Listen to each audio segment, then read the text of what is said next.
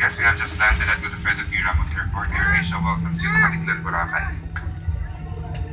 Time now is 26 minutes past the hour 4 in the afternoon. For your safety, please remain seated until the seatbelt sign is switched off.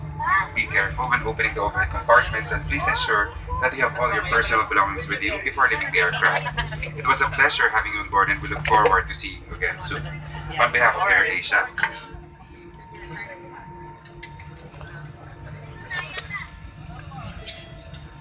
Captain Fernando Guevara, First Officer Jason Lasida, and the rest of the crew members, we would like to say thank you for flying with us. Once again, is an important safety announcement.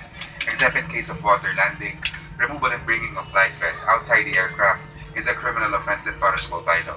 And for passengers traveling with infant and were given infant life vests, please return them to the cabin crew upon the plane. Thank you.